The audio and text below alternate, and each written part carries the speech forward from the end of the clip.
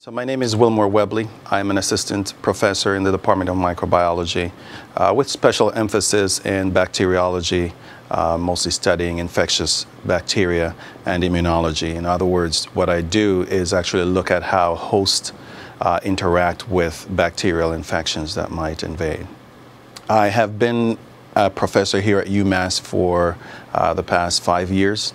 Uh, I did my graduate work here in microbiology as well. Once I got uh, finished with my PhD and got a faculty position, I naturally continued uh, with chlamydia because by then I was very fascinated with this bug that has this amazing biphasic developmental life cycle. It's an obligate intracellular pathogen. What that means is that it lives exclusively within a host cell. Now, a, a, human cell is one of the most hostile environments on the planet. So for a bug to feel comfortable enough to live within a human cell, it must have really amazing capabilities. So you could easily have chlamydia and go around with it for years and not know that it is there causing pathological um, changes in your body that eventually are going to lead to stuff like infertility uh, that probably going to lead to reactive arthritis.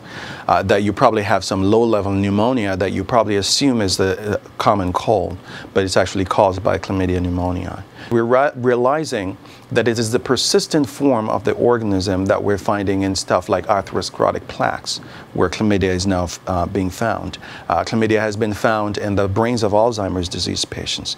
It's been found in the, in the, the joints of people with reactive arthritis, and we know that it's a cause of reactive arthritis. Chlamydia trachomatis is the leading cause of preventable blindness worldwide. It has become clear that even some chronic diseases that we didn't think were linked to infectious pathogens now is an infectious pathogen component to them.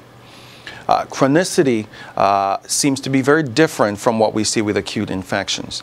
And we will probably touch on this later, but it seems that the type of bacteria that cause chronic infections are a genetic, genetically different types of bacteria from what we see in our acute infections. In other words, we're looking at what we call planktonic bacteria as opposed to bacteria that are found, formed in biofilms.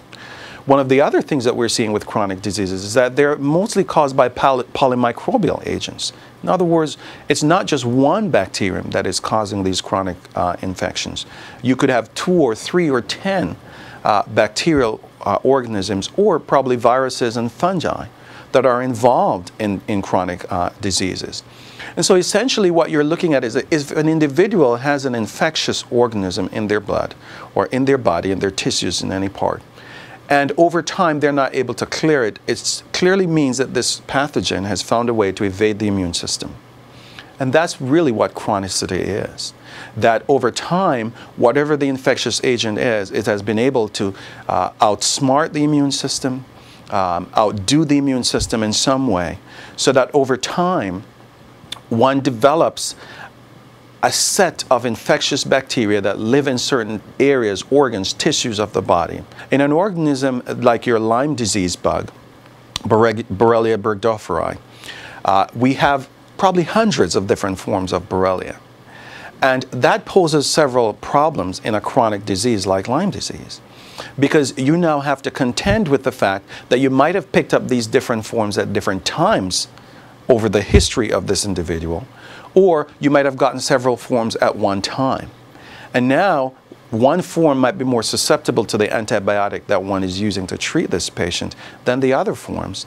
And now what you're doing is that you're creating more variants, variants inside of the individuals because the antibiotic is not putting enough pressure on these organisms to cause a bactericidal event. It's chlamydia pneumoniae, which is inhaled just like you would inhale the common cold or, or, or any other uh, cold virus or respiratory viruses. It's picked up through the respiratory tract, but we now know is able to travel throughout the body and go to other areas, including the joints. So both chlamydia trachomatis and chlamydia pneumoniae have been found in the joints of, of patients with uh, reactive arthritis. In a mouse model, it was found that when patients were, were, when mice were infected with chlamydia trachomatis genitally, it took probably about three or four days for these organisms to travel to the joints.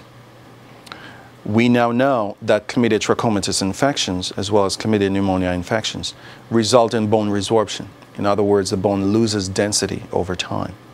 But we also find the organism in the joints, in the synovial membranes, in the synovial fluid itself. Uh, and what that means is that when you have organisms in this very close proximity, as the joints. What it does, an infectious organism will now cause the production of cytokines and chemokines. These are chemical messengers that are released by cells in the environment. And this now calls in a lot of organ, a lot of uh, cells, immune cells, T cells, B cells, uh, macrophages possibly, and neutrophils in this very close environment.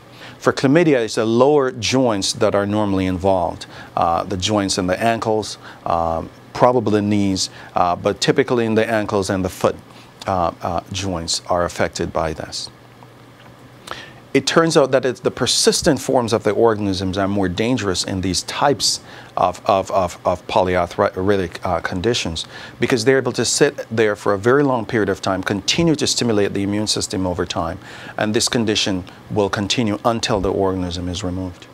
Uh, we can look back uh, in the early 1900s and see where chlamydia trachomatis was found uh, in, the, in the joints of patients and also as, as, as genital uh, infectious diseases. Chlamydia pneumonia is a relatively new pathogen that was discovered uh, in the 60s. Uh, in Japan uh, and other places. Uh, so we really don't know what the real origin of these organisms are. We now know that they infect a wide uh, plethora of, of, of hosts uh, from animals to humans, and we don't know if it came from humans to animals or from animals to humans. When you have a situation where bacteria are treated with antibiotics that can kill them, or when a strong immune system responds to bacteria by producing cytokines or chemokines or other agents that are able to destroy the bacteria and to eliminate them from the body, these bacteria have a choice. They can either stay as an individual bacteria and die, or they can change their form and instead of being a planktonic bacteria, form biofilms. Biofilms are really a, a consortia of various bacteria coming together in a three-dimensional structure, forming a slime layer around themselves through extra polysaccharides that they secrete, and DNA and other materials from dead or dying bacteria that are in that community. Essentially then what you have is a diverse community of bacteria that are not probably not related genetically, they're probably not even in the same species, are able to come together and form this community that protects each of the bacteria in the community. And each of these organisms in the community is doing its own thing, producing what it normally produces, but is being protected by the other bacteria uh, that are there. And in chronic diseases and on several uh, uh, devices that are implanted in patients, that is what we're seeing. It is not your individual bacteria like you would normally find on your hands that are causing these, these diseases. And biofilms are found everywhere from the sludge that you see on, on river stones uh, to uh, water mains, uh, to devices that are used in hospital setting. Everything from uh, catheters. You know, catheters can literally become blocked by biofilm formation. And these biofilms are a composite of bacteria, of viruses, of fungus sometimes, protozoans. Uh, they can all attach and live together in these communities. And what we know about these communities is that they, it takes such a greater concentration of antibiotic to get rid of them That is not indicated.